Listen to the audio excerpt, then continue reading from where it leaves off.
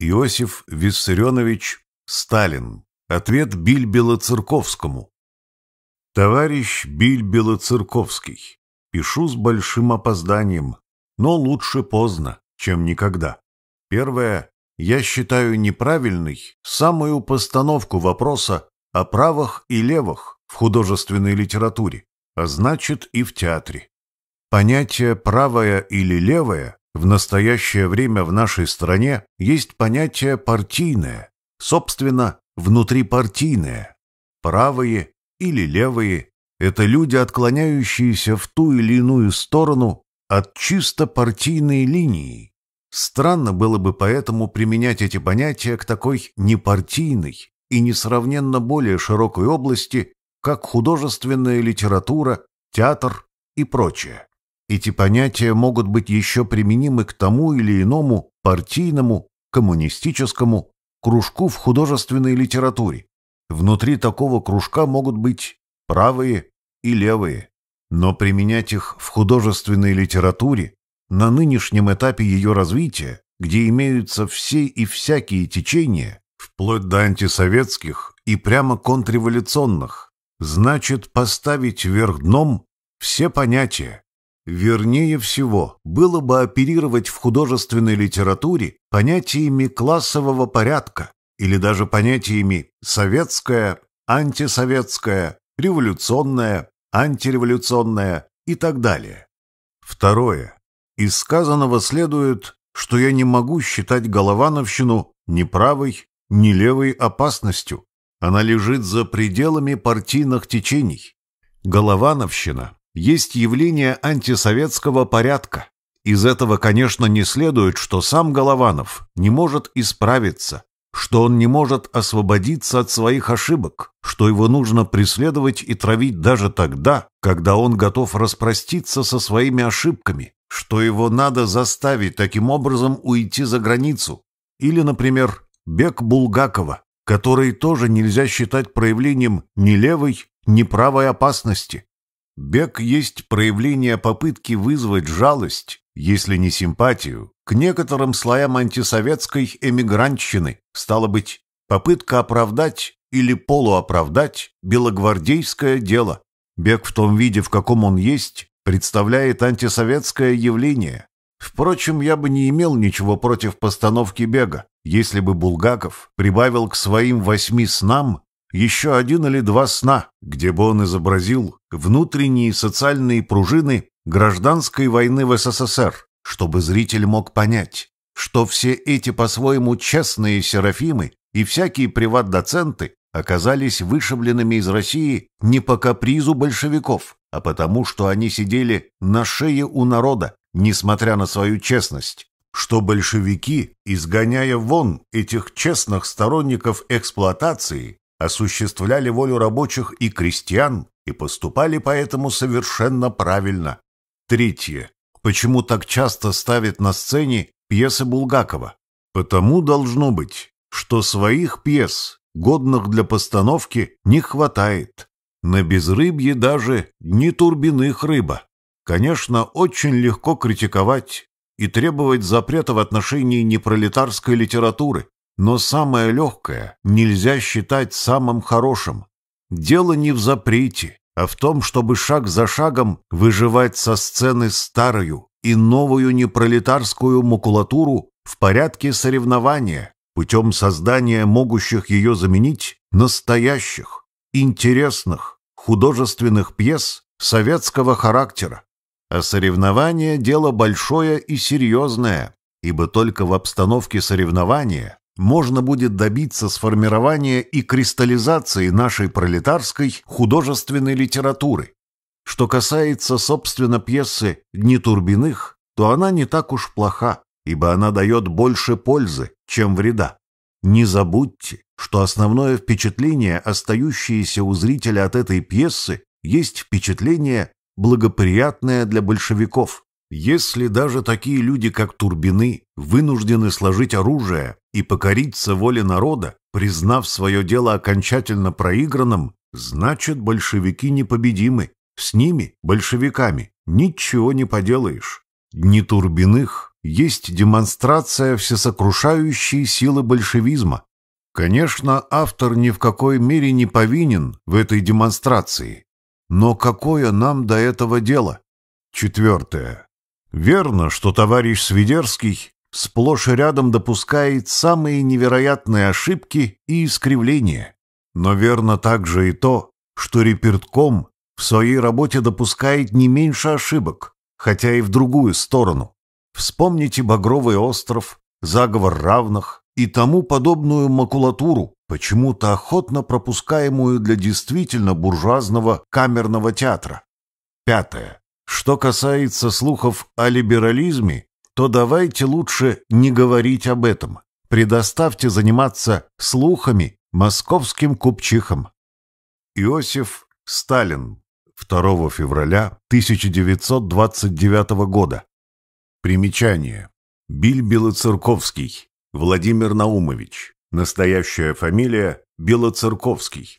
Годы жизни 1884-1970. Писатель, драматург. Родился в Александрии, ныне Кировоградская область Украины. Отец был лесничим и мелким маклером. Получил лишь начальное образование. В 16 лет ушел из дома. Стал матросом, работал на британских судах. С 1911 года поселился в США, где, работая мойщиком стекол небоскребов и полотером, сблизился с местными анархосиндикалистами. Вернулся в Россию после февральской революции 1917 года, и его мобилизовали в армию, в пехотный полк, расквартированный в Москве. Там он вступил в РСДРПБ, принимал участие в гражданской войне. Печататься начал в 1918 году. С ноября 1917 по май 1918 года член исполкома Моссовета. В 1920-е годы в России появился еще один писатель Белоцерковский, и Владимиру Белоцерковскому посоветовали придумать себе псевдоним. Он стал публиковаться под фамилией Биль Белоцерковский, так как ранее за рубежом его называли Билл. Фамилия Белоцерковский сокращалась до Белл, которое произносилось как Билл. Биль Белоцерковский был членом пролеткульта, позже входил в группу «Пролетарский театр» и литературное объединение «Кузница», активно проводил политику партии в области культуры. Леопольд Авербах назвал Биль Белоцерковского в числе своих противников, обвиняя его в глупости, невежестве, в напыщенной мещанской декламации не имеющих ничего общего с пролетарским наступлением на культурном фронте. В 1929 году Биль Белоцерковский написал Сталину письмо, обвиняя Михаила Булгакова и Московский художественный театр в неприятии советского мировоззрения. Автор многих пьес пропагандистского характера, среди которых «Шторм» 1926 год, значительно переработана в 1935 году, вошедшая в классический репертуар советских театров. Публиковал рассказы, написал сценарий фильма «Шторм» 1957 на основе своей пьесы. Голованов Николай Семенович. Годы жизни 1891-1953. Русский и советский дирижер, хормейстер, пианист, композитор, Педагог. Народный артист СССР. 1948. Головановщина. Весной 1928 года конфликт двух габаистов оркестра Большого театра из-за разницы в оплате труда был использован недругами главного дирижера театра Николая Голованова в качестве повода для развертывания беспрецедентной кампании против него. Голованова обвиняли в том, что он стремился перенести в советский театр старые буржуазные нравы и методы работы, был чересчур консервативным. В действительности противился постановкам новых опер советских композиторов 20-х годов, отказывался продвигать молодых артистов, поддерживал несправедливо высокие размеры гонораров ведущим музыкантам. Компания получила большой резонанс в средствах массовой информации и привлекла внимание Сталина. Статьи в прессе носили агрессивный, обличительный характер. Комсомольская правда 2 июня 1928 года. Нужно открыть окна и двери Большого театра, иначе мы задохнемся в атмосфере Головановщины. Театр должен стать нашим, рабочим, не на словах, а на деле. Без нашего контроля над производством не бывать театру советским. Нас упрекают в том, что мы ведем кампанию против одного лица. Но мы знаем, что если нужно что-нибудь уничтожить, следует бить по самому чувствительному месту. Руби голову, и только тогда отвратительное явление будет сметено с лица земли. Вождем, идейным руководителем интриганства, подхалимства является одно лицо – Голованов. Свидерский Алексей Иванович. Годы жизни 1878-1933.